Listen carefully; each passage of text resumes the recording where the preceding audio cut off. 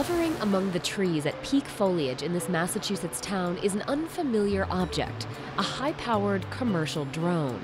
So what you're seeing here is our, our PARC system. And what the PARC is, is it's Persistence Aerial Reconnaissance and Communications Platform.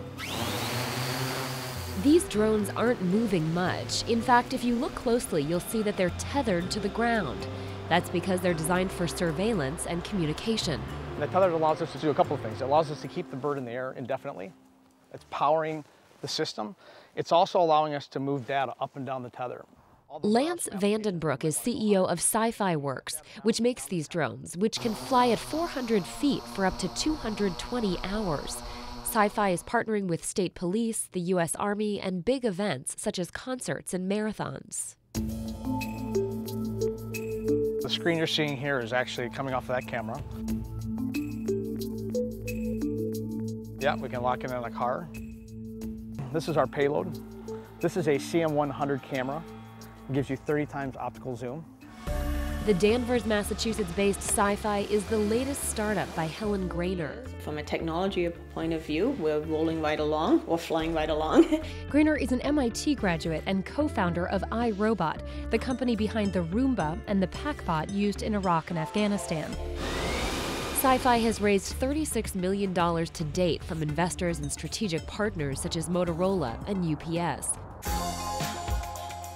The drone maker successfully flew its first delivery with UPS this year medicine to a hard to reach island. I think uh, initially, going to inaccessible areas, emergency relief, rural areas, that's the right place to start. But no, I do envision drones bringing you your Starbucks coffee in the morning or bringing you uh, your pizza at, at night and maybe even bringing you uh, milk that you forgot at the store. The FAA cleared small commercial drones for takeoff last summer, but the promise of delivery drones has been limited by short battery lives 45 minutes max. Tethered drones present a new set of challenges, but for Cyphy, it's a bigger picture play. The tethered drones, the persistent drones, they're making our drones really much more rugged, much more reliable. We get much more testing in, and that will lead to uh, much better, safer, more reliable delivery drones.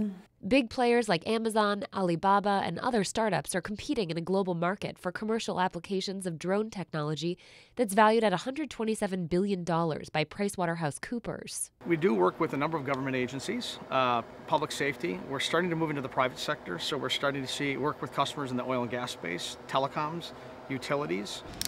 Cyphy currently employs 50 people and plans to double the size of the company in 2017 you know, it's an exciting time uh, for drones and the sky's the limit.